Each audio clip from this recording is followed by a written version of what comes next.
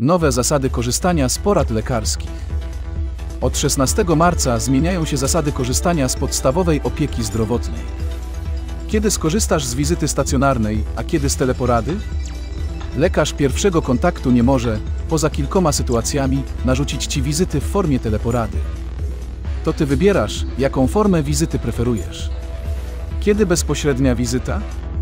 Twój lekarz nie może odmówić ci bezpośredniej wizyty, gdy Pierwsze nie wyrażasz zgody na teleporadę ty lub twój opiekun ustawowy. Drugie cierpisz na przewlekłą chorobę i nastąpiło pogorszenie lub zmieniły się objawy.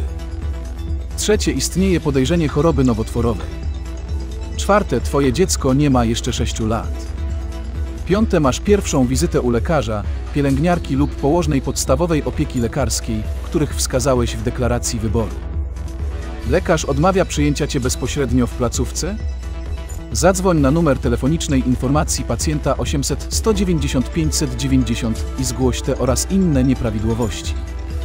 Kiedy teleporada? Korzystasz z teleporady, gdy Pierwsze istnieje podejrzenie zakażenia COVID. Drugie potrzebujesz recepty na leki niezbędne do kontynuacji leczenia, a lekarz ma Twoją dokumentację medyczną.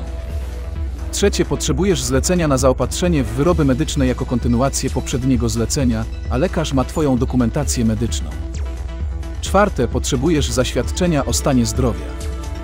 Piąte Twoje dziecko, które nie ma 6 lat, korzysta z porady kontrolnej, którą lekarz ustalił podczas bezpośredniej wizyty i która nie polega na fizycznym badaniu. Więcej informacji w linku pod filmem.